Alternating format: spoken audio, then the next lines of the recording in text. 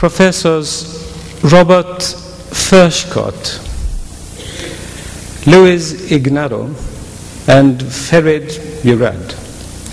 Your discoveries concerning nitrous, uh, nitric oxide as a signaling molecule in the cardiovascular system not only explained the working principle of an old, important group of drugs, the nitrovasodilators.